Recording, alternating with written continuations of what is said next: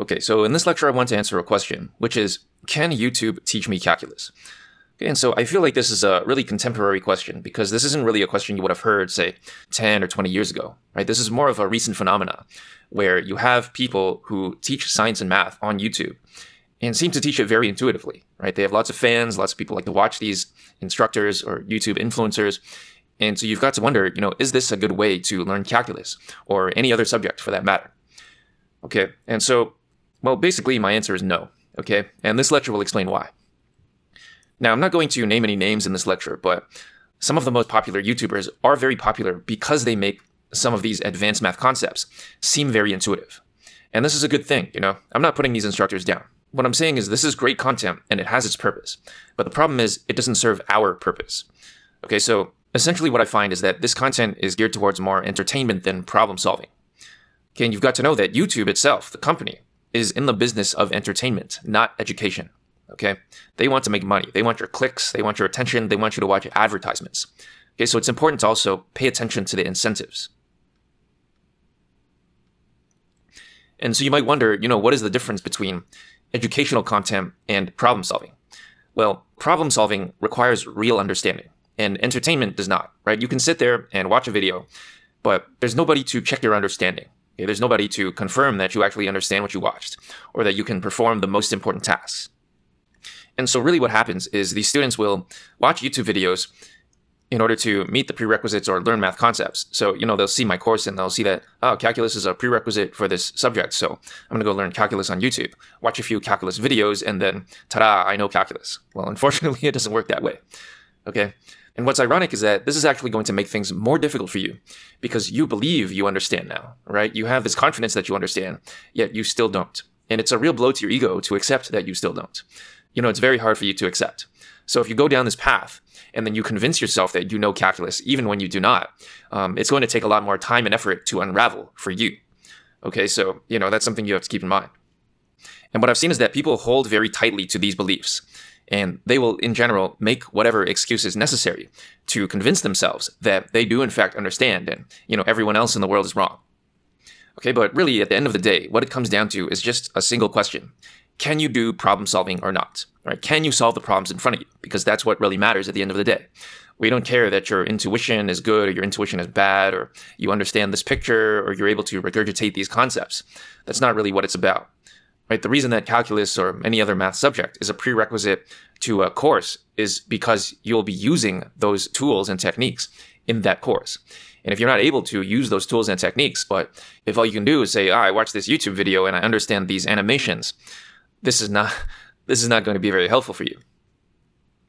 And so one thing that I see a lot is people treat learning too much like collecting credentials than actual learning.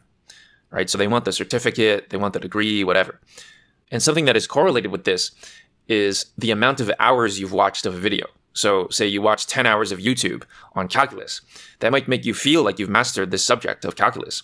But this is really meaningless if you can't perform the actual duties expected of you. Right? So, let's just say, you know, you had a job and your job was to solve calculus problems. Okay. Well, would your boss pay you if you couldn't solve those problems, but you watched 10 hours of YouTube on calculus? Right? The answer is no your output dictates whether or not you will get paid or whether or not you are performing well at this job. So if you cannot produce the output, if you cannot perform your duties, then your so-called skills are effectively pointless. And you know, I should say that I watch many of these videos myself. You know, I like to watch videos about quantum physics and theories of everything and gravity and all that stuff. But I understand that I'm not going to be a quantum physicist. So these videos are okay for me. You know, I don't want to get a degree in physics. I'm just fine watching these videos. However, you have to understand that if you're in my courses, that's not what my courses are for, right? My courses are for getting you an actual job, getting you these actual skills so that you can use them in the real world. And I assume that's because you actually want to do machine learning. And I don't believe that you're taking my course in the same way that you'd watch YouTube videos, where you just want to see what it's all about. I assume that you want to become a professional and work on these tasks as a professional. Okay, and I think the physics videos are really good examples of this, right? Because computer science and programming and machine learning are very popular subjects right? So a lot of people are trying to get these jobs. So it's kind of a bad comparison. But if you look at physics, right, with physics, not many people want to become professional physicists, right? They don't want to do physics for a job. Okay. And so I think we have a good understanding that if you watch a video on physics on YouTube, this isn't going to make you better at your job as a physicist or an engineer. Okay, so I want you to apply that same reasoning to machine learning as well, to math. When you watch a math video on YouTube, this is more for entertainment. It's not for making you good at performing a task that you can do at a job. So another question people might ask is, well, why can't you do it both ways? Why can't you teach it both the way that they teach things on YouTube with, with animations and without very much math and more focusing on the intuition, and then do the problem solving later? And so to these people, you have to remember what goes into these videos. So based on uh, interviews of some of these YouTube influencers and blog posts by these authors, it takes approximately a month, okay, 30 days to make a single five to 10 minute video. Okay, so that's not that's not very efficient, right? If you look at how long this course is, it's about 11, 12 hours so far, um, 14, 15 hours depending on which version you're taking. And so now, if you were to extrapolate that, say um, an average course is eight hours long. So how long would it take to make an eight-hour course? Well, I would leave that for you as an exercise, but I know some of you aren't going to bother doing it, so I'll tell you the answer. Okay, so eight hours is 480 minutes. Okay, 480. And if we assume that each video is five minutes, then we'll have 96 videos. 480 divided by five is 96. Okay, so if each video takes one month to make, then since we have 96 videos, this would take 96 months. And how long is 96 months? Well, that's eight years. So, so in order to make an eight hour course, it's going to take eight years. Now, at this point, that's approximately the amount of time I've been making courses. And in that time, I've made about 30 courses. Okay, so needless to say, the answer is no. I won't be spending eight years of my life just to make calculus videos. And another thing to realize is that you have to remember YouTube is a modern invention. Okay, so remember, we have generations and generations of people who have learned math without the need of this modern technology.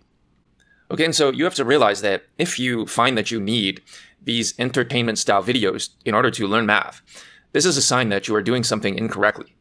You know, because people have been learning these concepts for generations. Hundreds of years of our society has managed to learn these concepts without these pretty animations. And so this reminds me of a movie that came out some years ago. It's an animation. It's called WALL-E. And what it showed us is a physical manifestation of what I'm seeing happen to the mental capacity of students today. Okay, basically it showed people who were physically incapable of doing anything because they let technology do everything for them. Okay, and so just think about it this way. If your father and mother were able to do it, and their fathers and mothers were also able to do it, you should make sure that you shouldn't represent a de-evolution of your genetics. Instead, you should improve over past generations, not get worse. Okay, so this slide is all about practice versus entertainment. What's the difference? So this is another important dichotomy to recognize. So why can't you learn, say, calculus using YouTube as opposed to taking a college course? And this is because YouTube videos generally don't make you practice, right? They don't make you do homework, they don't make you take exams. And that's the only thing that will build your real intuition. So people think that watching videos is giving them intuition, but that's not intuition. Intuition is what you earn, it's what you find after having worked hard to solve problems. Okay, and I encourage you to watch the lecture How to Code by Yourself, which can be found in the FAQ of most of my machine learning courses to see another video on this topic of real versus fake intuition. Okay, and if you don't have access to any of my machine learning courses, I'll gladly send you this video for free. So just email me if you want to see this video. Okay, and so the real problem here is that people think a YouTube video gave them intuition, but this is usually not true, right? What it really did was it made them feel good inside. Okay, but your feelings, your feelings, how you feel inside, these are just emotions. These are chemical signals in your brain but they don't reflect your true ability to actually do calculus or do math. Okay, real intuition is something that you must earn. Okay, basically, it's a matter of pattern recognition. Have you seen this before? And do you know what to do when you see this pattern? Okay, in, in order to have this intuition, you must have had enough practice to recognize the patterns in order to build up that intuition. Okay, without practice, your intuition is just based on rote memorization of facts right? Maybe you can memorize the illustration you saw in a YouTube video, but that doesn't mean you can actually do calculus and solve calculus problems, which is the whole point because later in machine learning, you're going to be using that calculus to solve further problems. Okay, and so on the flip side, how does college give you practice, right? So I'm talking about practice is important. So presumably you're going to get a lot of practice in college. Okay, and so how does college give you this practice? Well, basically, college does this by using the tools of fear and threat. Okay, fear and threat. In order to graduate, you must pass the course, which means you must pass your exam and do all the homework. And in order to do that, you must study and practice. Okay, basically, you're being forced to do it. Okay, and if you fail to do this, then you will lose your money or have to pay more money to take the course again, which instills fear. And that fear is what causes you to take things seriously to ensure that you pass. Okay, I'm not saying it's the ideal system, but it is a system that works. And so if you want to be a self-guided learner, you have to figure out another method, a method that will motivate you just as well as fear and threat in order to convince yourself to do this practice. Okay, so I wanted to make a little addition to this lecture since I recently discovered this nice video, which is basically saying the exact same thing I said in this video. And so this video is called Still Don't Understand Gravity, This Will Help. And it's by a YouTube channel called The Science Asylum. Again, if you want to watch this video, it's on YouTube, and there's a link to it in extrareading.txt in the course repo. Okay, so I really like this video for multiple reasons. One being that it introduces the phrase edutainment, which is, I think, in a sense, more accurate than what I've been saying, which is just entertainment. Okay, so edutainment is obviously a combination of the words education and entertainment, which is kind of what these videos I've been describing are. Okay, and this YouTuber is making a comment that a lot of these physics videos are the same thing. Right, it's part entertainment, but it's also part education. Since, for example, it's not like watching a movie, there is some educational aspect to it. Now, there's another reason I really like this video because it basically gives you a list of books to read, and it tells you which exercises in these books to do.